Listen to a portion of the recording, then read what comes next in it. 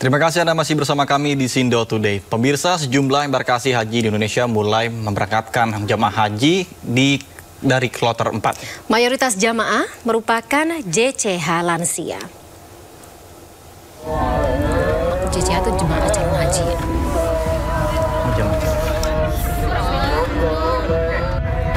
Suasana haru terlihat saat sanak saudara para jemaah calon haji kloter 3 embarkasi Medan yang akan berangkat ke Tanah Suci Mekah. 359 jemaah haji asal Mandailing Natal, Sumatera Utara ini diberangkatkan menuju asrama haji Medan tergabung dalam kloter 3 embarkasi Medan. Mereka akan diterbangkan ke Tanah Suci pada Rabu 15 Mei 2024 setelah satu hari berada di Asrama Haji Medan. Pemkap Mandailing Natal dan pengurus haji Kementerian Agama setempat akan mengoptimalkan pelayanan di bidang kesehatan. Karena tahun ini mayoritas jemaah adalah lansia.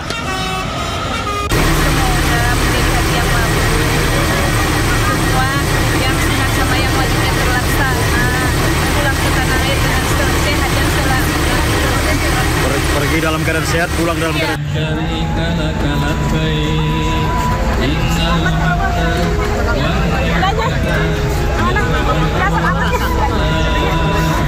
Sama halnya di Majalengka, Jawa Barat, para jemaah calon haji mendapatkan perpisahan penuh haru oleh keluarganya. anu kena rangis gitu. 440 JCH tergabung pada kloter 4 embarkasi Majalengka ini diberangkatkan melalui Bandar Udara Internasional Kertajati.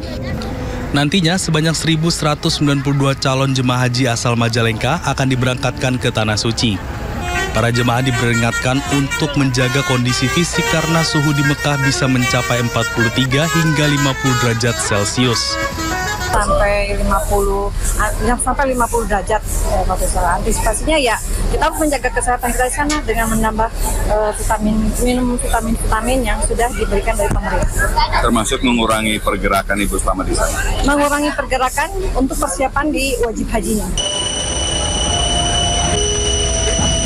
Sementara itu, 450 jemaah calon haji yang tergabung dalam kloter 4 embarkasi Makassar, Sulawesi Selatan sudah diberangkatkan ke Tanah Suci Mekah. 30 persen dari jumlah jemaah merupakan JCH lansia.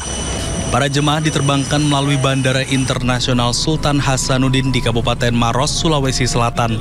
Diprediksi seluruh JCH dari kloter 4 ini akan tiba di Arab Saudi pada Selasa malam nanti.